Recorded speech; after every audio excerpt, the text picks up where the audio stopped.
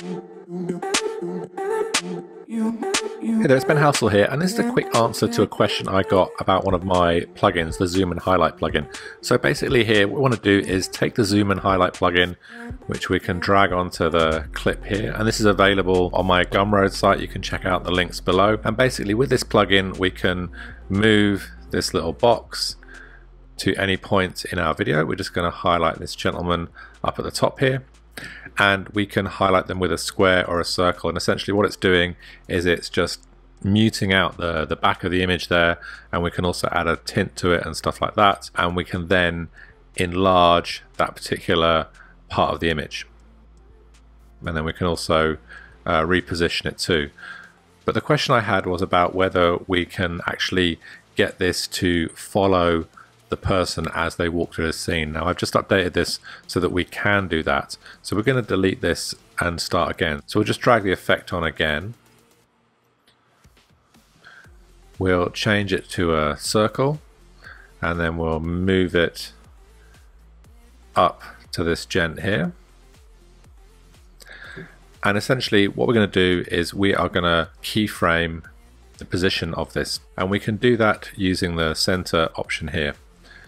So we can hit the plus option there on the keyframes in the inspector and then we can play this through. And now either by using the, the Y option here or by moving the on-screen controller we can reposition where that is going. So we'll just follow them all the way down here. We may need to enlarge this just a little bit I'm trying to make as few keyframes as possible, but you can see it's following him up to there. And then we'll follow him just see almost as off the screen. And then we'll keep going. And we'll move this now just using the center option up here off the screen so it disappears. So basically we have this highlight really easily added, keyframing the center of it in the inspector and you can see when it just kind of slips out of position there we can just come back and nudge it into position. Now what I'd recommend you do when you're doing this is just right click on your clip and go to show video animation and that will just mean you can see how many keyframes you've got and you just don't want too many there. So we can enlarge it a little bit here just so that we're not having to remake that a lot. So if we come back to the beginning here, now what we can do is we can zoom in. And I'm going to let this play through here.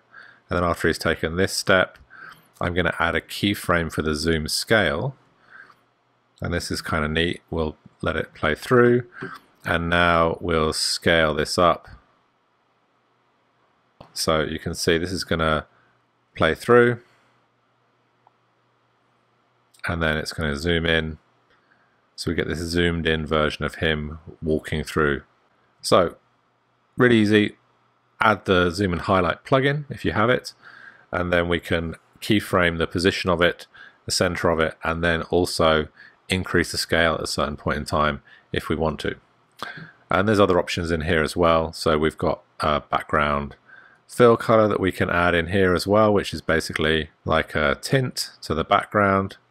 So we add a little blue there, and then we'll just be making a little bit more contrast between the background image and our gentleman who's definitely not doing anything sinister, just walking through the train station or something um, in our video.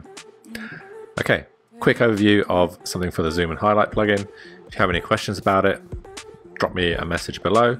I hope you enjoyed the tutorial and uh, yeah, definitely go and check out the plugin.